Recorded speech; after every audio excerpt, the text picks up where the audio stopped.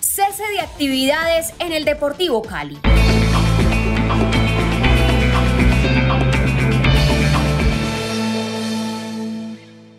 Y es que resulta que el plantel profesional que mañana será juez ante el Boyacá Chico en la fecha 20, la decisiva de la Liga Colombiana, para conocer a los ocho mejores clasificados, pues decidió no entrenar este martes 16 de mayo.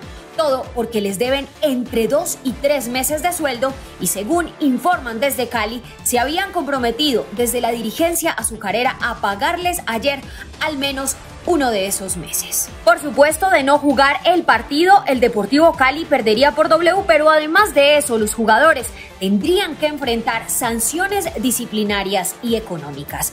A Colfoot Pro, que es la asociación que respalda a los jugadores del balompié nacional, se pronunció por supuesto, apoyando a los futbolistas en esta situación. Apoyamos a nuestros compañeros del plantel de la Deportivo Cali en su decisión de no entrenar este martes 16 de mayo debido al incumplimiento de los directivos con el pago del ingreso mensual de dos y medio y tres meses como contraprestación directa al servicio como futbolistas profesionales del club, situación que viene afectando gravemente sus intereses y los de las familias que dependen de ellos. Esta ha sido una situación reiterada ya que desde hace varios meses vienen recibiendo de parte de los directivos del club compromisos de pago que a la fecha no han sido cumplidos. Pero ¿de cuánto es la deuda del Deportivo Cali?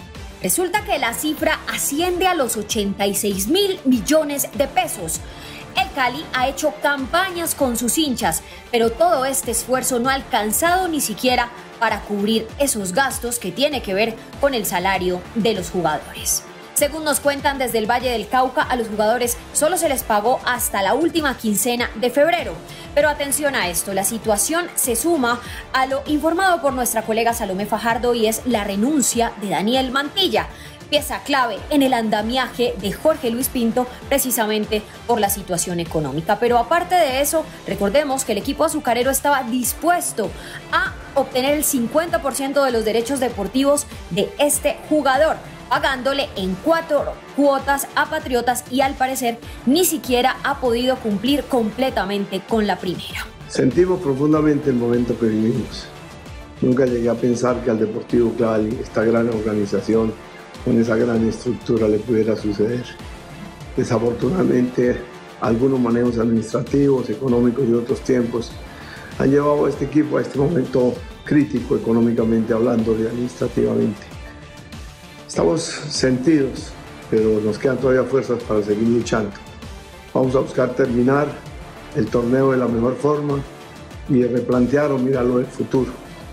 Ojalá que los directivos actuales que han puesto el pecho puedan soportar, puedan dirigir esta, disminuir este momento crítico que vivimos, que podamos encontrar soluciones económicas y que el Deportivo Cali vuelva a ser aquel equipo histórico modelo de organización deportiva y que ha sido siempre ganador. Un abrazo a toda la afición por el apoyo que nos ha brindado, todos los medios por ese respaldo de estos momentos difíciles. Seguiremos adelante, no le quepa la menor duda que seguiremos adelante. Una opción que tiene el Deportivo Cali es presentarse a ese partido de mañana con un equipo sub-20. ¿Qué pasará? Hasta ahora no hay un comunicado oficial y repetimos, según nos cuentan, de la misma escuadra azucarera están haciendo todos los esfuerzos posibles para reunir el dinero que le deben a los jugadores. ¿Qué piensan ustedes de esta situación? Quiero leerlos en la caja de comentarios. Nosotros somos Semana TV, el primer canal digital de Colombia.